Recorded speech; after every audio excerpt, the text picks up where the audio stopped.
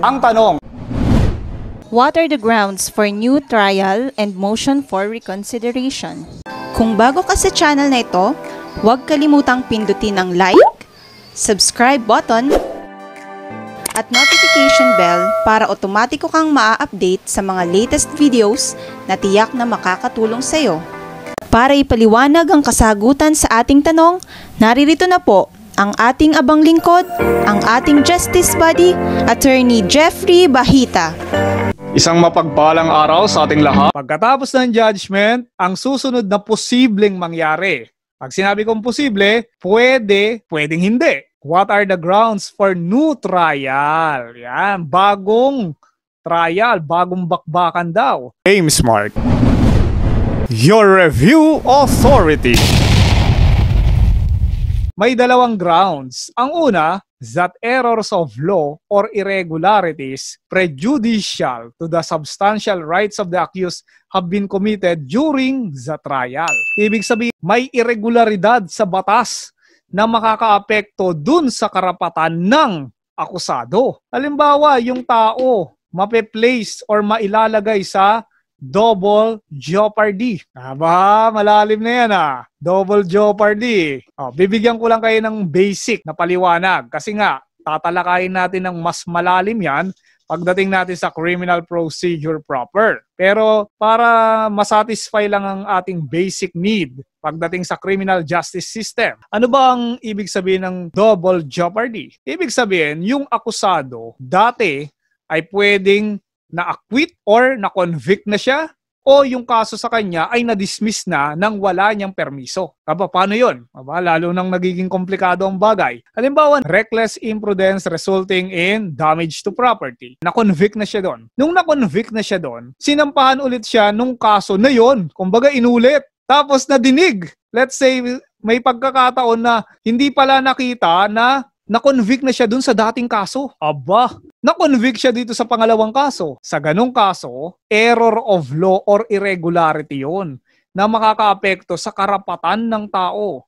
Tatandaan natin, hindi pwedeng malagay sa double jeopardy yung isang tao na yon dahil karapatan niya yan. Sa ganyan, magkakaroon ngayon ng new trial. Ah, hindi pwede yan. Tingnan natin. Ah, tingnan natin. New trial tayo. Tingnan natin kung totoo bang nag uh, na-convict or na-acquit or na-dismiss yung dating kaso na parehas sa kaso ngayon dun sa parehas na akusado. James Mark. Your Review Authority.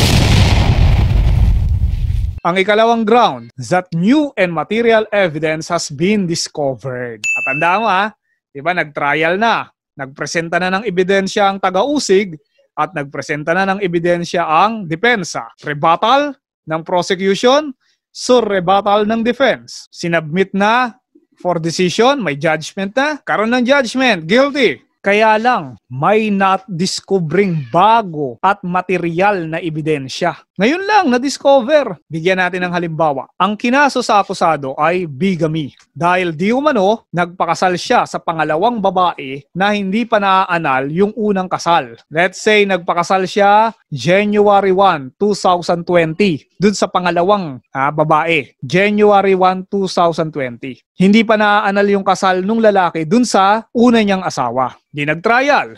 Lumabas sa certification sa PSA. May dati na pala siyang kasal. Tapos nagpakasal siya, siya ng pangalawa. E di malinaw, bigamy yun, di ba? Hinatulan ng korte, guilty beyond reasonable doubt for the crime of bigamy. Nung pagkahatol na yon, kinabukasan, nalaman nila, na-discover nila na yung unang asawa ay namatay pala ng December 31, 2019. Aba! Game changer. Bakit? Dahil nung namatay na yung unang asawa ng December 31, 2019, naputol na ang bigkis ng kasal sa pagitan ng unang asawang babae at ng akusadong lalaki. Nakuha nyo? Ibig sabihin, nung namatay na to, yung babae, malaya na si lalaki. Kaya nagpakasal siya ng January 1, 2020. The following day, pagkamatay ng babae na kanyang unang asawa, liable ba siya sa krimen ng bigamy? Hindi na boy. Ligtas ka na boy. Bakit? Dahil may bago at material na ebidensya na nadiskubre neto lang. Doon lang nila nalaman na namatay pala nung uh, December 31, 2019. Paano? Nag-check ulit sila sa Philippine Statistics Authority at lumabas na may death certificate ang unang asawang babae at nakalagay doon na namatay siya noong Disyembre 31, 2019. Nang pinatay naman, no? Yung pagkakataon, no? Di ba? Di malaya, ligtas ka, boy. Imagine mo, ganun ang labanan. Di ba? Ganun ang labanan. James Mark. Your Review Authority. Ang pwede ring mangyari kung hindi man new trial ay MR. Di ba? Natatandaan nyo? Naririnig niyo yung MR, Motion for Reconsideration. Ano ba ang mga grounds para makapag-file at mag-grant yung ating motion for reconsideration? Errors of law or fact in the judgment which requires no further proceedings. May pagkakamali sa batas o kaya naman dun sa fact, ha, sa pangyayari na hindi na kailangan ng susunod na proceeding. Ano ibig sabihin nun? Bigyan natin ng halimbawa para mas madali niyong maintindihan. For example, si Pedro ay na-convict ng ating hukuman sa kasong homicide at binigyan siya ng penalty, pinatawan siya ng kaparusahang reclusion perpetua. So, order.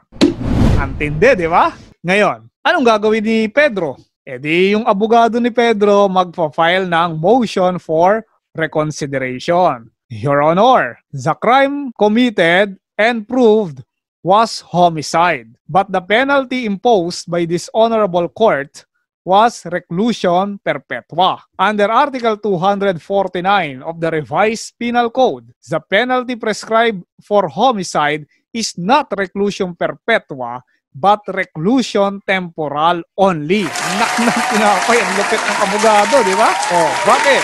Dahil nakita niya na may mali doon sa nangyari. Totoo naman eh, ang parusa sa homicide hindi perpetua, temporal lang. Eh bakit mo pinarusahan ng perpetua? Hindi pwede yan, Your Honor. Sa ganong pagkakataon, hindi na rin kailangan ng further proceedings dahil malinaw naman ang nakalagay sa ating Kodigo Penal. Kaya sa ganong pagkakataon, malamang igagrant ng ating hukuman yung motion for reconsideration ng ating depensa or akusado. Malinaw?